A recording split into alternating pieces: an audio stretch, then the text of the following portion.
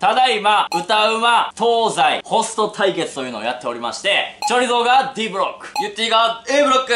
ランランが C ブロックでで出場してるんですけれども、第一選考はですね、投票制になっておりますので、概要欄にリンクの方を貼っておりますのでね、そちらから投票よろしくお願いします。お願いします。一日一票、絶対に勝たせてください。よろしくお願いします。お願いします。それでは本編、どうぞ。やられたわ。あどうしたんすか？えぐい。これはえぐいで。むちゃくちゃやで。俺もうほんま。人信じられへんもん。やばいっすねあれほんまに。ワンツースリーフォーカードです。エロい人間はステ神父ゼロです。早い。言ってくださいチューチュータコホイヤ反抗期ララドラねじゃないじゃないよ。ほんまに。いや俺らさ、まあ、君らに促されてはいは行ってきたんよ名古屋にね。あの美女と会えるみたいな。いはいはい。で行ったもののやで。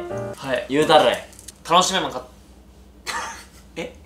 全然楽しめんかったっすよね。ずっと言うてそれぐら。いもうギリギリまでな LINE のやり取りしとってん怪しかったよなでも途中で、まあそうっすね。雰囲気が。名古屋行って「チョリさん今日の19時ですね」と名古屋に女の子集めますってなっとったから俺は待ってたわけですよね。昼の3時にどんな感じでしょうと俺聞いたわけですよ。怪しいからね。ほなもう大変申し訳ございません。女性が集まっていない状況になりますと。意味がわからへんよね。この時点で。行ってますからね、はい。名古屋まででそれも帰ってきたのが多分1時間20分後。めっちゃレスポンス遅い。こういう返事だけは。俺はもう言ったわけですよね。詐欺ですか。とじゃあ申し訳ありません。まだサービス開始して間もなくで関東の女性が中心になっておりと。名古屋の女性が集まりにくい状況です。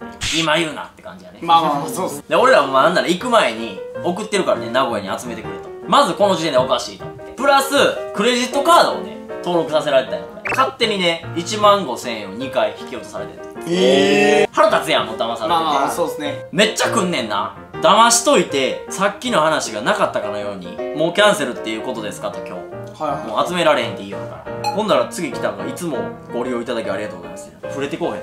えなめとなめとるやろ。その後もねこうやってガーって来てんねんけどとりあえず1万5000円が2回引かれてんのがエグいよな、うん、ほんでもう攻めてるからねこうやって勝手に引き落とすのやめてもらっていいですかと。ほんだらまた火曜日はお仕事終わりに可愛い女性と過ごして疲れを癒しました 完全無視してる せっかく言ってやりに行ったのにな。ほんまっすね米ちゃんと俺でねコンドームプレゼントしたぐらいですから。まあでもまあ腹立ちすぎてもう警察にも話持っていきますと。一旦対応もないし、まあ。聞くだけいい詐欺やんもう完全にね。まあだから皆さんちょっと気ぃつけてほしいこういう詐欺にはね。そうですね。ね。皆さん報告しましょう。みんな通報や。まあでも続けるなら関東中心で集めてるらしいから、次回ね東京行く時にあったらああー。なるほど一回チャレンジしたい。そうそう僕からだけチャンスあげようか1号でユッティが卒業できるなら俺はええかなと。まだまだ突き進みますんでね。そうですね。はい。卒業への道は続くってことで